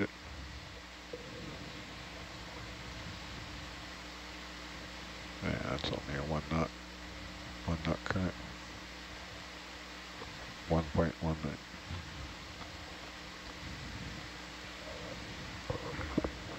for any folks wondering what DP is, um, I believe Dan is talking about dynamic positioning system, which basically helps keep the ship in one place when we're trying to do a dive and move accordingly as we want it to.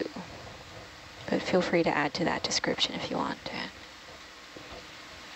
Dynamic positioning, it uh, yeah, keeps it in position or moves wherever we tell it.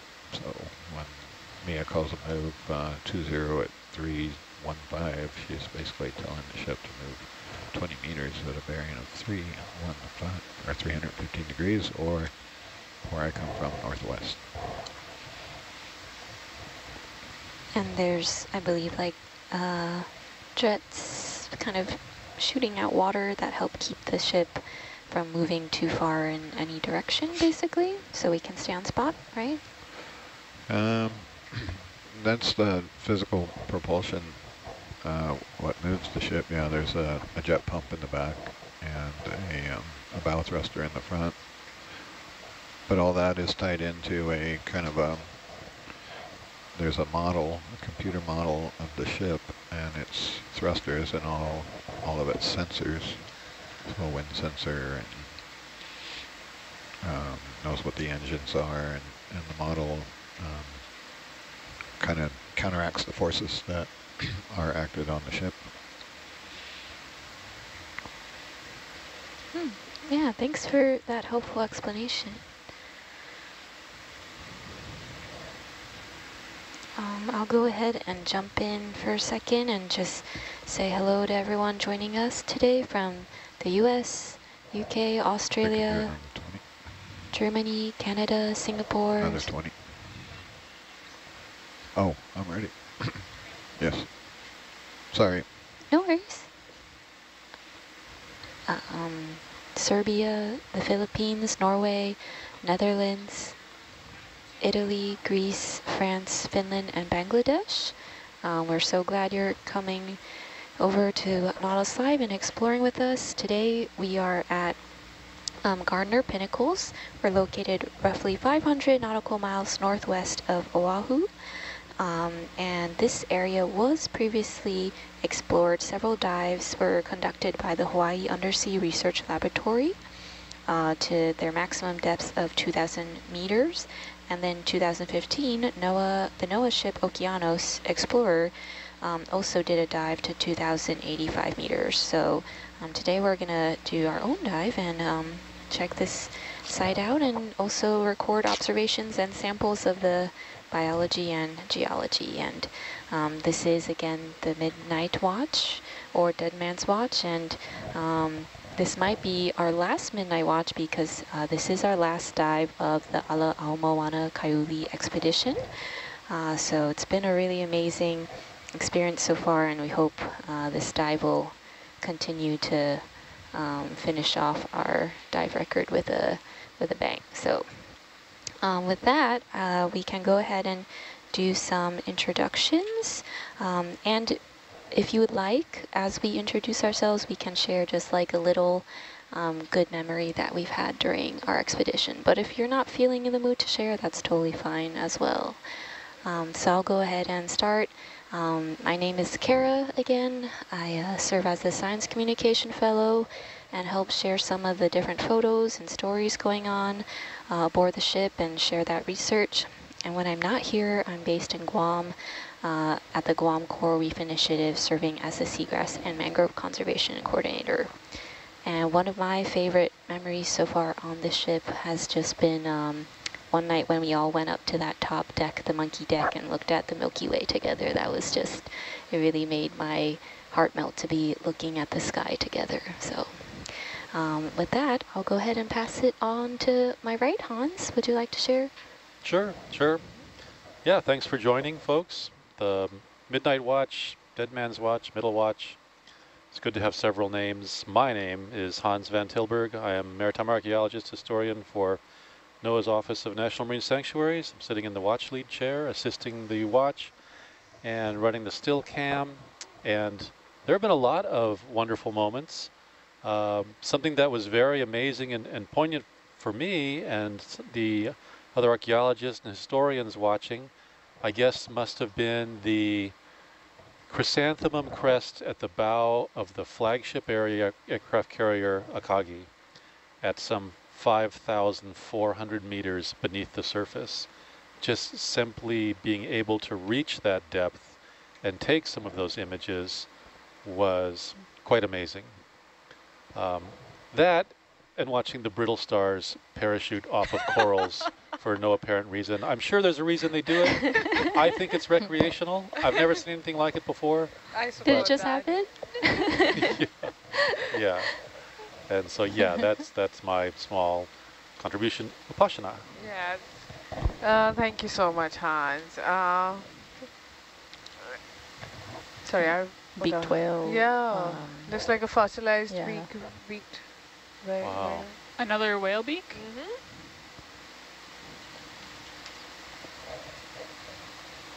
That's what it looks like. Rare. 40?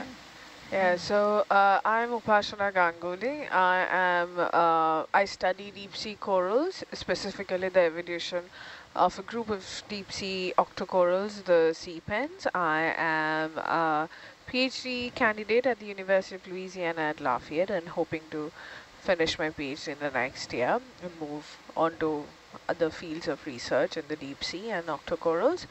Um, and honestly, I'm sitting here and cannot really think of one experience that I can uh, single out because it has been a wonderful experience overall, working with people, getting to know them, getting to know about the studies and from the different fields of study that everybody comes from being on these watches and getting to experience the a new place, uh, explore the seamounts, explore the biota that's there, uh, seeing various organisms that I had just seen images of before or read about but never seen them in person. This is the closest to in person that we can get when it comes to uh, the deep sea. It's obviously not going to be as like an in-person if it's on land. But so it has been a great experience overall. There's lots of memories and I have been happy to have been able to contribute to this expedition and hoping to have the great last few days here on the ship. And with that, Taylor Ann. Hi, I am Taylor Ann. I am the science manager and data logger on this watch. Um, it is my job to log all observations of everything we see from biology to geology.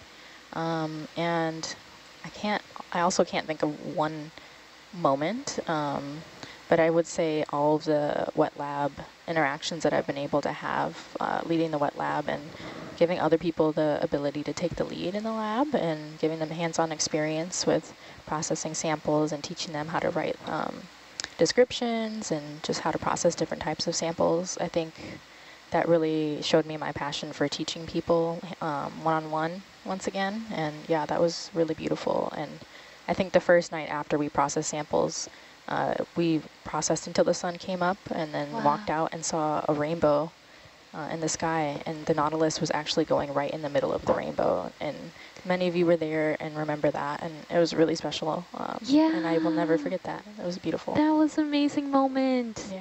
Thanks for reminding me of that. Yeah, of course. Um, and with that, I'll pass it on up to you, Mia. Thanks. Uh, I'm Mia. I'm serving as the navigator, and when I'm not uh, navigating, I'm uh, serving as a seafloor mapper. Uh, it's hard to pick one moment. I definitely, in terms of the archaeology, coming down on the Akagi, for we're on watch when we came down first, and it was really exciting to see that come out of the depths. Um, and then I've enjoyed just being with everyone and having, it's like when you're in a movie theater and you're all reacting at the same time to something special. When we see octopus or all the sea stars and, you know, finding my, I guess, new passion for sea stars I didn't know I had. um, and yeah, and just learning with everyone, uh, seeing Jake get really excited when he learned how to, the first time he drove Herc and you know supporting him as a team that was a really great moment too. So i really liked all the moments where we worked together and had you know just like got to react together and learn together. Pass it on over to dan. Uh, good morning good evening. I'm dan in the herc chair. Uh, i too don't probably have one memorable. I have lots of good memories here. Um, the sea daisy was mm -hmm. probably one of them. The Benthic ctenophore, as far as stuff we've seen, that's uh, very cool. Uh, probably the most memorable one for this expedition is the look on Jacob's face when first time I handed him the uh, Kraft manipulator Aww. controller. if you haven't seen that photo, deer in the headlights, yeah. but now he's an old pro at it. it's been uh, it's been a great journey with everyone to see the uh, progress we've all made here in this room. Yeah, if you haven't seen that photo, I think it's posted on our social media, and you can just see Jake's face like lighting up. So definitely check that out. That was an awesome picture that you took. um, nah, thank you, Dan. Thank you, everybody. Okay, um, there, my name is Jacob. I'm from Ewa Beach, Oahu and I am serving as the ROV engineering intern. And yeah, um, it's hard. I'm, I'm, it's hard to pick one. I think just being in the presence of all these awesome people in this room, you know, being able to learn so much from Dan, of course. Um, okay, came, came in here with hardly any experience, but I'm leaving here with so much. And um, let's do 40. Yeah, I guess just the pilinas I made with everybody, all the relationships, and that I will keep forever. So mahalo you guys. And thanks for all the support, everybody. Love it. Hmm. Jaina. Aloha, my name is Jaina. I'm from Hilo, Hawaii, and I'm the video engineer intern. Um, Jake, you kind of stole mine. I was also going to say the people. um, yeah, I'm really grateful for this watch um, and for all y'all creating such a safe space for everyone to speak up. Um, it's been really awesome getting to know everyone on the ship, but yeah, wouldn't want to do a 12 to 4 with anybody else. well, thanks so much for sharing, front row, and um, we'll bring it all the way back around to Else if you're um, ready to share. Yeah, so um, hi everyone, Ali. My name is Else, and I'm a supporting scientist here on the 12 to 4 watch and I'm also a researcher at the Palau International Coral Reef Center. And um, non-list deckhand. deckhand and wet lab assistant and XBT shooter. XBT shooter. Um, Artist. so yeah, I've been really, really grateful and humbled that everyone has been so gracious and um, patient and willing to teach um, anything that I'm willing to learn, which is everything, obviously. so it's been just such a great learning experience. And um, Taylor Ann stole what I was going to say, which was the, that was a, a pretty amazing moment because um, we were all, we were actually up all night processing samples and then um, I had just finished showering and I came out. I was about to eat breakfast and then uh, I saw her and Kukui downstairs on the deck and they're like have their phones whipped out, like staring at the sky. So I like I rushed down. A anytime you're on a boat and you see people looking at stuff, you're like, I need to go look at what they're looking at. so yeah, that was a really um, awesome moment to see Nautilus sailing under the rainbow. Um, but yeah, I think it's been all of those little moments put together. And for me, it's also been like I've been able to see the sunrise. Well, maybe not always the sunrise, but I've had a chance to see every sunset wow. that we've been on, uh, that we've had since we've been here. Some have been good, some have been not so good, but um, I think reconnecting with nature and like the ocean and where we are and our place and all everybody here. Um, yeah, so can't really can't state overstate how great of an experience it's been, and it's great. been awesome coming in here for four hours every afternoon and every um, every early morning with you guys. So looking forward to a great last watch. Yeah, thank we you We ride so one last time. yeah, what we're looking at is very odd and weird. The top one definitely, yeah, sorry I had to in jump spirit. so the top one looks like a crinoid, maybe it's a stalked crinoid, and which has a bunch of hydroids growing, but I have no, like these look like solitary hydrozoans, but why are they growing on the stalk? I have so, no idea. I don't know. Uh, probably they're growing on the stalk. That's all I can, I think I can make out from this. The top yellow can, looks uh, like a crinoid. Push in there on one of the... Yeah, the joints. Because this is a stalked crinoid. And... Uh, yeah, I think you're right. I think it must... But why does it have two branches? Oh, no, it's like two individuals. Like two, yeah. Uh, like mm. two individual solitary hydroids okay. growing on the stalk. Okay. And Not usually like solitary one. hydroids make their own stalk? Is that? Or, yeah, okay, yeah, okay. yeah. Wow, yeah, this is very interesting. And it then we saw how that crinoid closed up. Yeah, so that is a crinoid. I'm sure about that. Okay. Those pink things also look individually like solitary hydroids. So the only uh, logical reason is that they are growing on top of the stalk of the crinoid. And there are a bunch of uh, okay, hydroids growing on it. Thank you so much. We got a scoot. Very yeah. odd. Can go wide, please. Um, observation. I'm so sorry. I'll say I can't do short, yeah, probably. Yeah, sure. No, no, I think it was good. Wow. That would also get added into the list of. Oh, okay. So there's confirmation so, yes, from us yeah. also that we made a decently okay guess. I w I've just never seen. Yeah, yeah. that. I haven't seen a stock crinoid yet either. This oh, expedition. Okay. So that was. No, not on this expedition. I think they saw like a giant hydroid on one of the other watches. Mm. I think we yeah. also saw a giant, like a decently big sized uh, stalked crinoid one day. Um.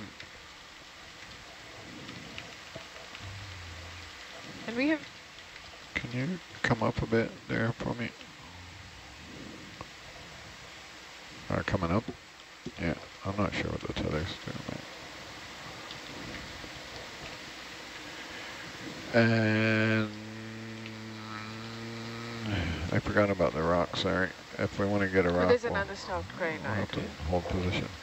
So yeah, I know, I know we're probably coming up on a, a slope break, and I know Val has talked in the past about, you know, rocks that slope breaks are, are sometimes good choices. A lot of these look welded down, but if we if we get to the slope break and we see something that looks loose, I know for, for people watching, it might look like there are a lot of rocks here. We heard from the last watch that a lot of times they're kind of glued down by the crust that forms. And um, sometimes it's challenging to find a loose one. They, they hadn't found one yet. But Dan, if you think you see one that's the right size that could be loose, we could try for that, or we could get closer to this slope break. Roger. Yeah, we've there. been we've been doing some uh, larger steps than usual with the uh, vessel to try and get to the steep bit here. Yep. But these uh, these look welded down, but some you know if you see one, it's starting to sharpen up a bit there.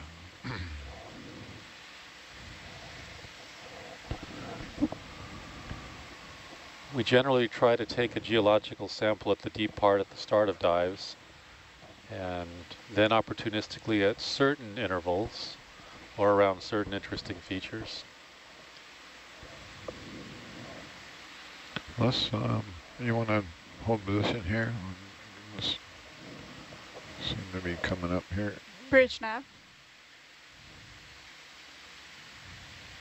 Can we hold position? Thank you.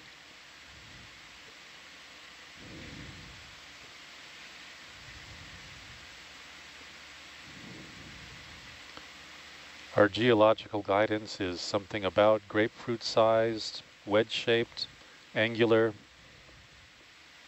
and then even the geologists don't know until they cut it apart and start looking inside what they've got.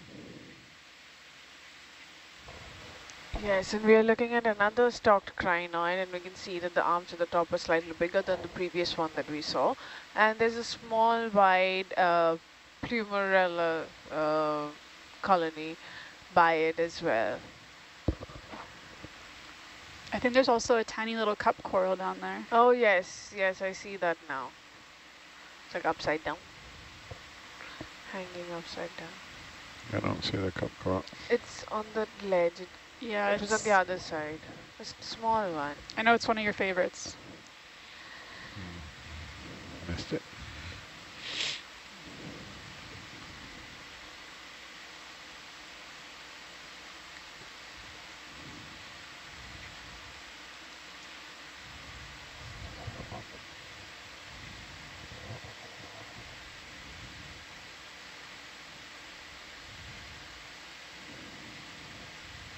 That's another beautiful bamboo coral web. And we have some dead sponges in this area. That is what it looks like. And there's another bamboo coral at the back as well, which can be one of the sparse branches.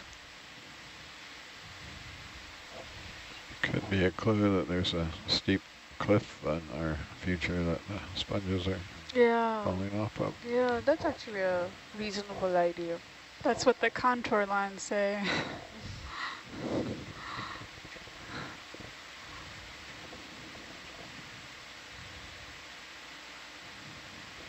And I'm looking for something that looks loose, and I'm not seeing it yet. You uh, don't think any of these would be loose?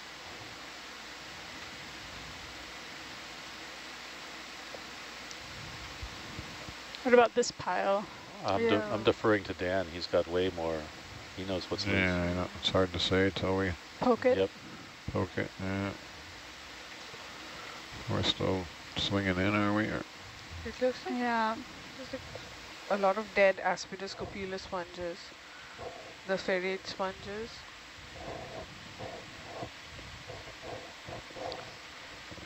What about that one?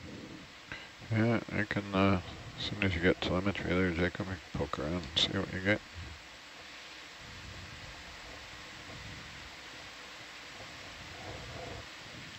gently poke her out. It's a wedge.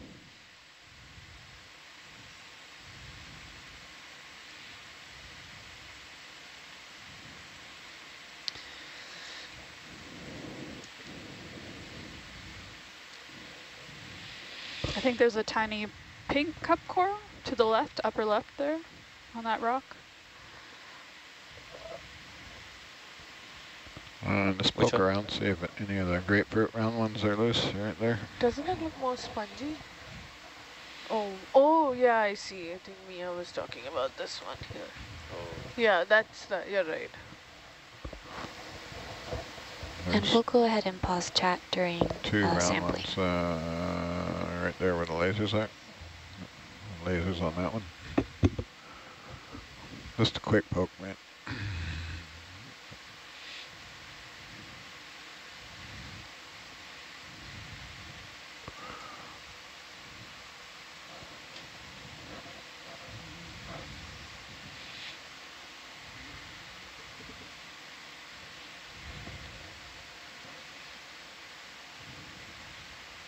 Nope. Oh, you didn't touch it.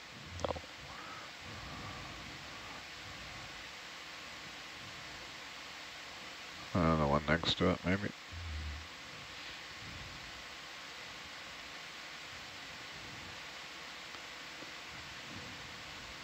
Does that one move? I didn't see it move. Alright. You can try and pry it a little bit more. Push the vehicle just a little bit.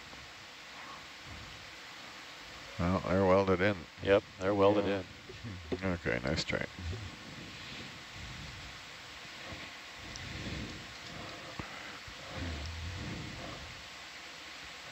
I got that elbow up again. Yeah.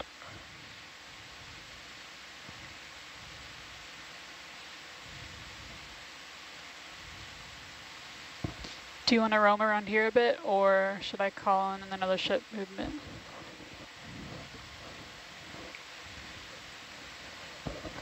Yeah, let me get out ahead here. Oh, oh, we got the minute out. We'll try another spot here.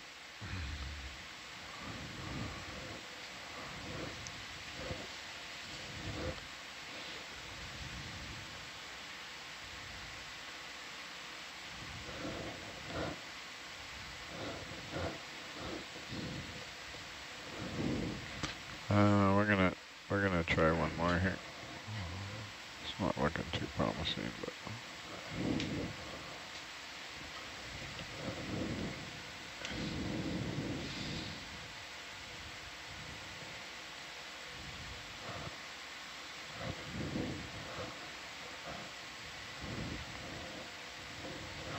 Hmm. no, those aren't gonna. Nah. Yeah, these Those look pretty welded down. Uh, they've been there for a while. Maybe when we get closer to the base of the ridge, there'll be stuff that fell or something, you know? Still loose. hope dies last. yeah. Um, good for another 20 now. 2285. Yes, please. Still going up the hill here. Bridge nav.